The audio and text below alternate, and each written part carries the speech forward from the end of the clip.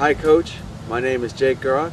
I'll be graduating from West Windsor Plainsboro High School South in 2014. I'd like you to take this time to watch my swing video so you can see what I can offer your golf program. Thank you.